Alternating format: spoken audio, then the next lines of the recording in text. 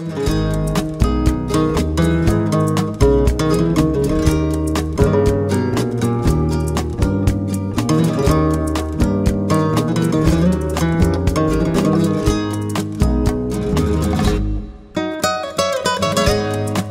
today, Mr. Haken? How do you say your name properly? Håkan. Haken. Okay.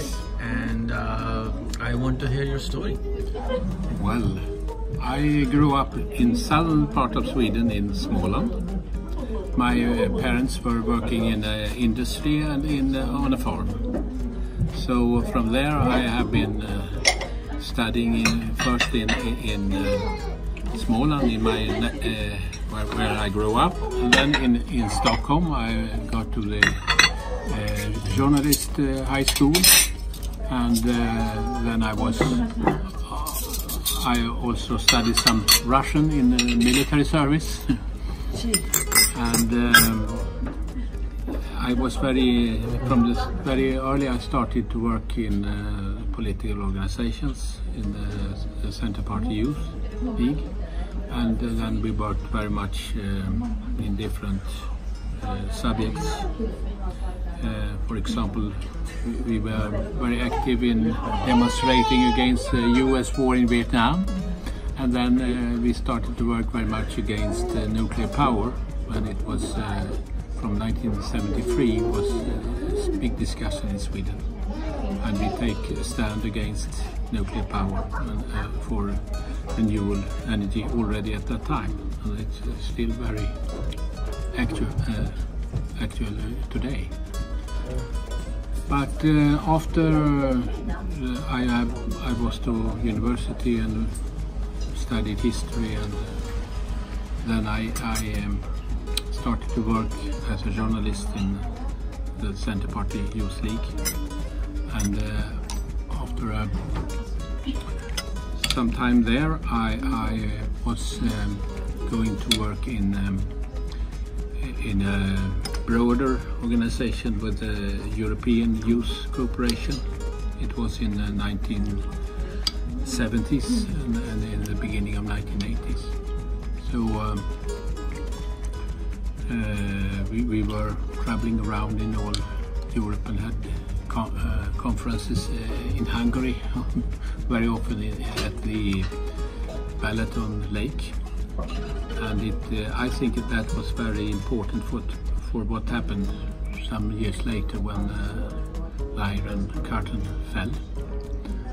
And um, we also had much contact with the youth organizations in different countries, and we were also many times in the Soviet Union.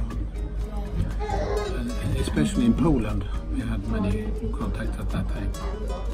Uh, and that was from the Center Party Youth League uh, and the countryside youth organizations in Poland.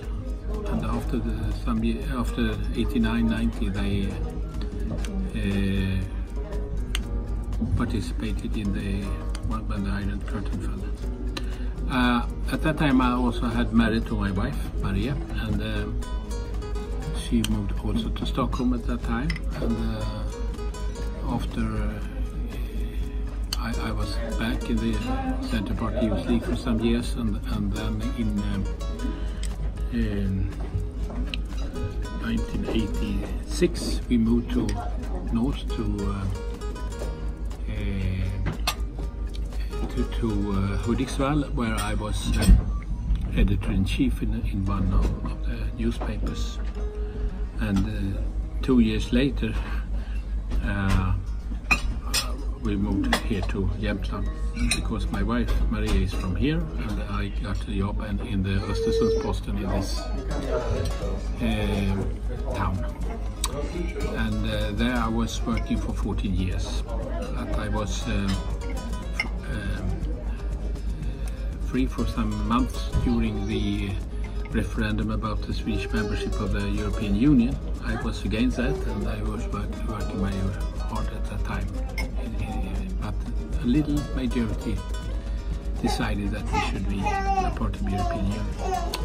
But from that time I was working very much with the cooperation with Norway especially because I, I, I was they do, they didn't uh, get members of, of, the union but uh, I thought it was very important that we should have the Nordic cooperation anyhow.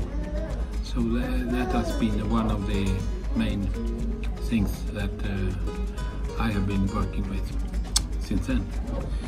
And um, in 2002 I was elected to the Swedish Parliament, Riksdag. So I was there for four years and it was very interesting and I had could have continued for some more time but in 2006 I was um, another man took my place from the Center Party and uh, after that I've been working with investigations and uh, different things up till I now do what I want because I'm a, a pensioner. Uh, so that's a very short my history up till now. Wonderful.